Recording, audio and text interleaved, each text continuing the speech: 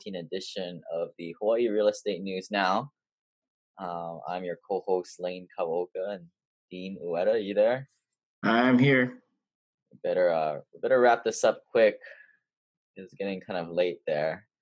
We're going to be talking about market stats, upgrading your house with some uh, different kind of contingencies I never heard of, and then some economy news. Uh, talk about the trade wars, and we'll talk about um, how you guys can join our network. Of course, here's that legal disclaimer here. Always consult your professional, tax or legal, because we are not uh, CPAs. Well, Dean is a CPA, but he's not a practicing one currently. Yeah. Thanks for that disclaimer. Appreciate that.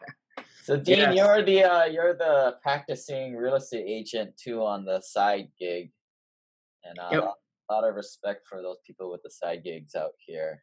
It's uh, not a I know a lot of people don't like to talk about it too much, but here you are making your videos. so I give you props for uh, putting yourself out there. But what's happening in the uh, Oahu real estate these days?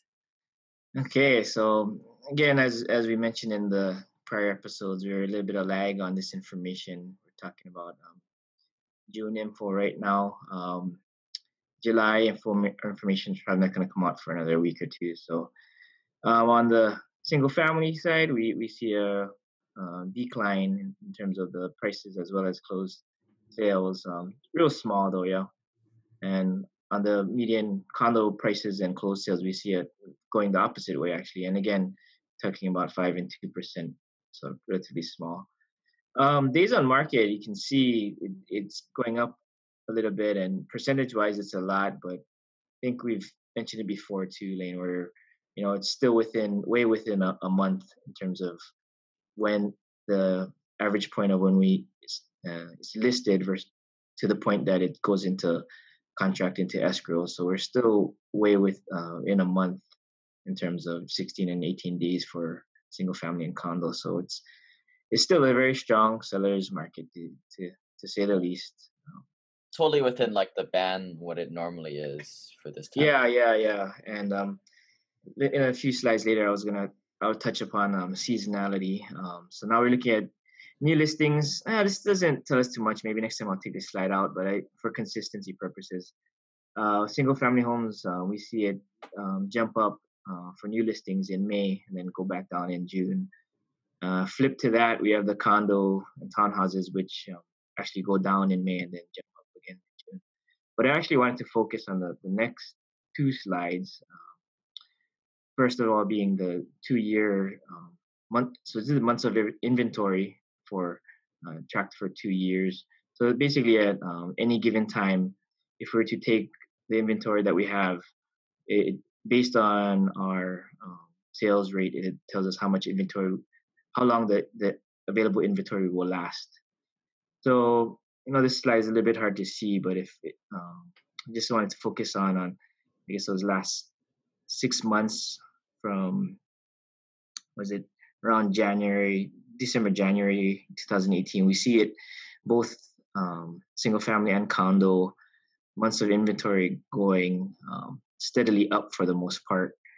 And um, looking back to to prior years, you can see it, it, didn't it wasn't as as steep of a slope. So you know if you're one of those technical analysts for, for from the finance field, you you might be saying you know it's it's going above the previous peak. So um, again, I'm not saying this is like a giant correction or anything, but it's something's happening, I think.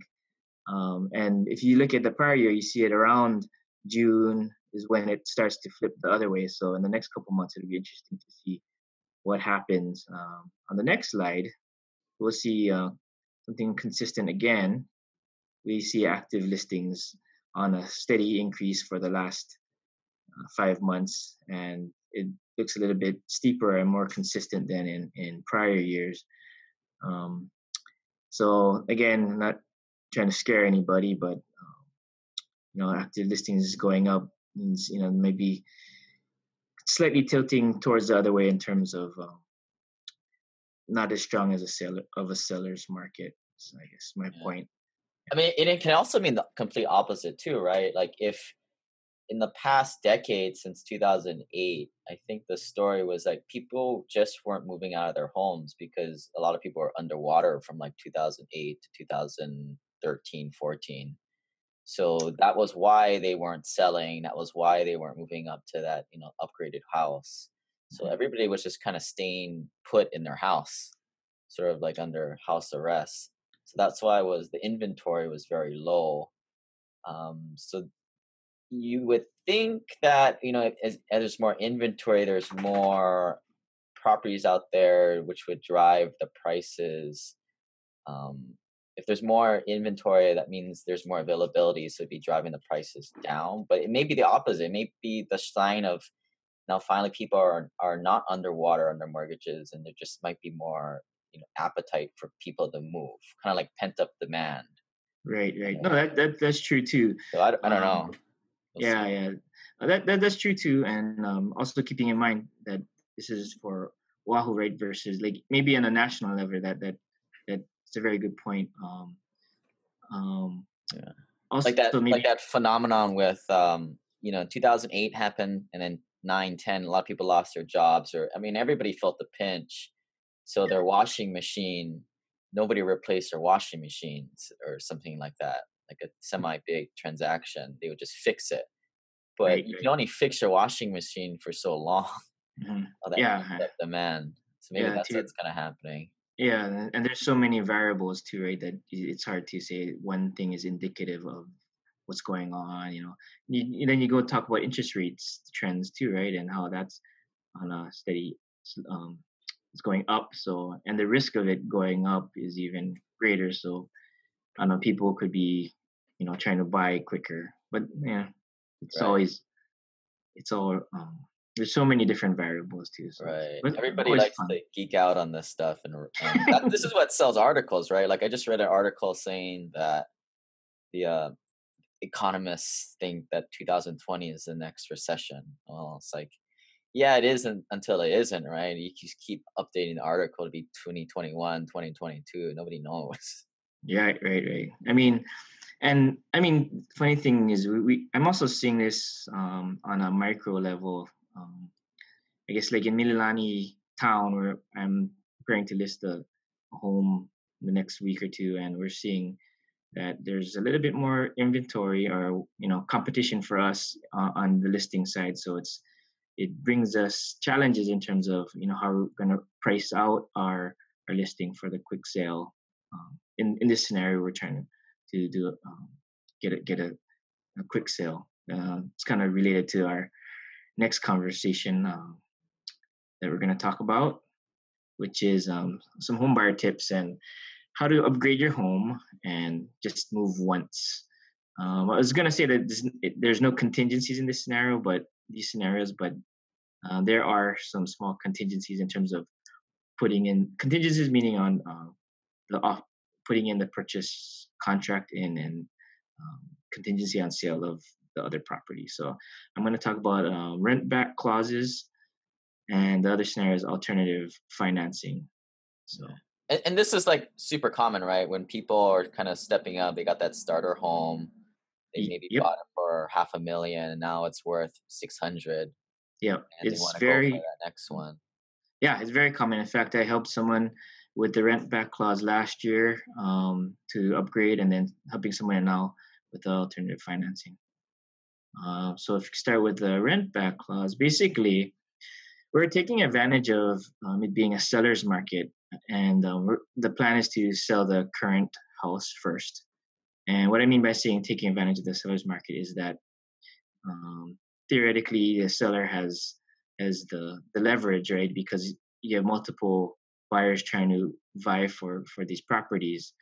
So um, keeping that in mind, if it, if it is seller's market like how it is now, basically you're letting the potential buyers know that the seller would want to rent back the the unit or the house uh, for whatever's uh, legally possible from the buyer's lender, and um, of course you're going to include that in the contract, right? So you're going to set set the the rent as well as um, all those terms, and as you're doing so, you're going to be looking for your new place to move, your new home, and um, my recommendation was you you'd make the offer for the new place once you're um, you've moved along um, fairly far with the sale of the current place. And the reason why I say that to make the offer after the fact is because your offer will have a contingency on the sale of your current house, which it theoretically weakens the offer. But if the seller, uh, the seller's agent knows that you know you're you're far along, you've passed your um, contingency, like your J1 inspection contingencies and things, then they'll know that you know that you can provide, and if, if you can provide them assurance and com- comfort that you're going to close, then that makes that um, makes your offer stronger and kind of based on the contingency, right? So were so, people doing this before, like kind of under the table, or? Well, I mean, this this is not uh, under the table anyway because you have the um, those terms are spelled out in your purchase contract when when you're when you're selling, right? Oh, so you're asking if? Oh yeah, I'm, yeah, I mean, it's a good idea, right? Right, I mean, right. People, yeah, you know, I, I, would hope so. You, like you said, the, the, the thinkers out there would, would be looking at ways to do this, uh, hopefully the right way, and yeah, then that way contract. Right, right. So and then, so last year we were able to do this. Um, I think September first we were we it closed on the sales side and and um, luckily on the purchase we, we were able to close on 22 days later so basically they were they didn't they had to move once and they only had to pay like a, a month of rent back to the the new buyer of the old house.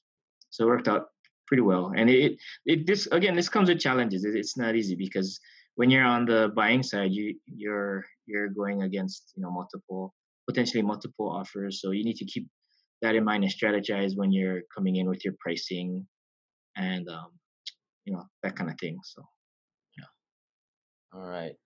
Next one here. So the next one is actually um, pretty cool. It's alternative financing as that's just what I'm coining it. But uh, basically, you're going out and this time you're gonna buy your new house first, and there's no contingency of sale of, of your current house, but your the intention is to sell the old one right away.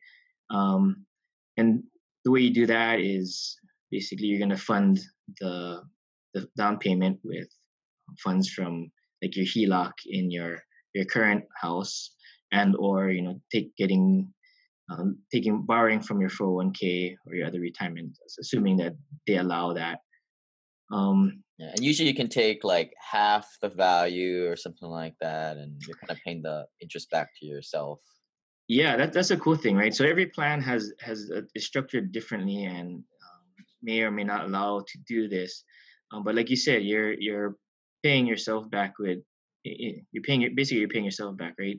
In interest and in this time day and age or in this current market condition is kind of neat because then you're you're kind of diversifying right because you're taking money out of the mutual funds that it was probably in and it's going into a note basically so it's kind of like diversification of of your 401k portfolio yeah if you look at right. it that way right and again we're not tax consultants here but yep. um i i've done this before um to buy rental property mm-hmm. and I kind of used it to. Uh, I kind of said I was living there, so I could kind of fly under the radar with uh, um, probably shouldn't say that on the internet, but yeah. hey, you got to do what you got to do when you're getting started.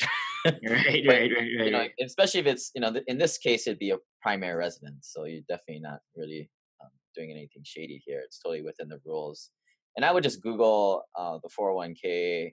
There's there's two sets of requirements. There's kind of the federal rules, which are going to be more lenient, and your employer's rule, which which is going to be a little step above, or might be the federal requirements too. So. Yeah, right. And then you're also limited by maybe limited by what your 401k um, program allows you to do. Yeah. And yeah. Payback period, interest rates, that kind of stuff.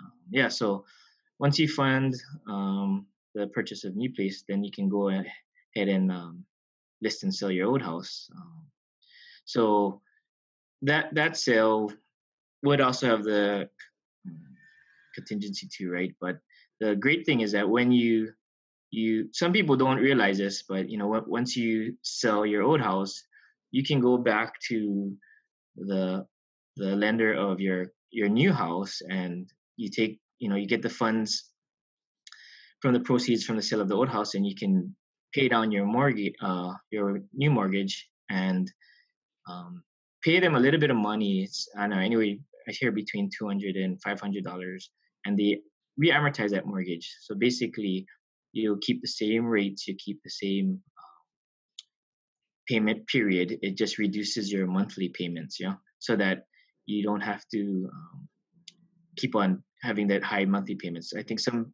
some people go ahead and pay down their uh, mortgage and don't reamortize, and then there's they still have that um, high monthly payment. So the reamortization reduces your monthly, which I mean, you you if you can handle not not doing the reamortization and and pounding down that that mortgage, then that that's fine too. But I think you and I, we we have yeah, different I'm gonna, theories. I'm gonna keep my mouth shut on this, but that's for another uh, presentation. Yeah, right? that's yeah, for yeah, the. Uh, discussion at REI Aloha Beer Beer Lab meetup. Yeah, those are those are fun. So. But you know, determine what your goals are, right? If it's to pay down debt, um, you know, it's one thing, but if it's to get financial freedom, it's another.